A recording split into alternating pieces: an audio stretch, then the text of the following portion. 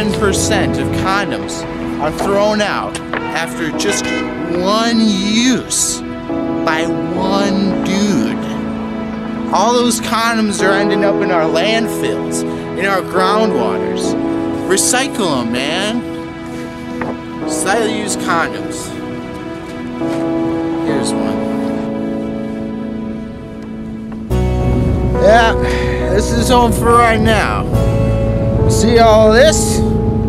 Gonna turn into all this. Cause I'm gonna get me a cart, condom cart, and I'm getting me a brick and mortar condom used store. And then I'll just go right on up from there. Nothing but growth potential for condom head. I got started like a lot of guys did. Like uh, I was just using one condom per go, you know?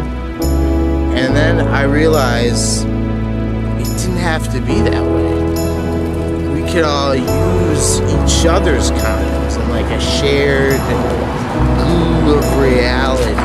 And my ladies love that. Man, it's my main selling spot right here. So here's the store front, you know what I'm saying, for the used condoms and uh, it's a really great area, you know. For me? Condom head? Well, I just uh, I just gotta go wherever the uh, condoms blow, you know.